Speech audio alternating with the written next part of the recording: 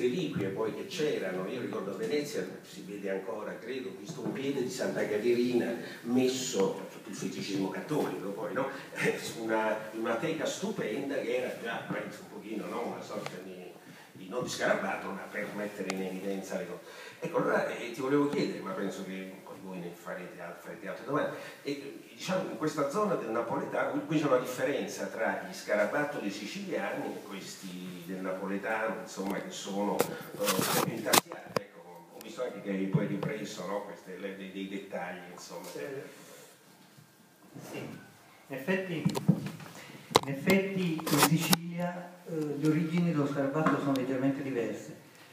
Eh, sono fatti in cera e eh, la cera era utilizzata nell'antica, nell'antica Roma, proprio per rappresentazione di, di defunti.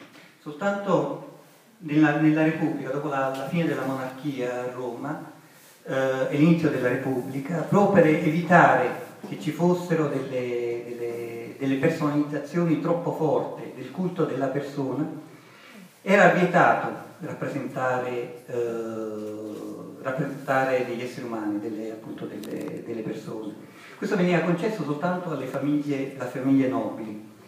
Le famiglie nobili avevano, potevano avere i ritratti, i ritratti degli avi, che attestavano proprio la loro, la loro nobiltà.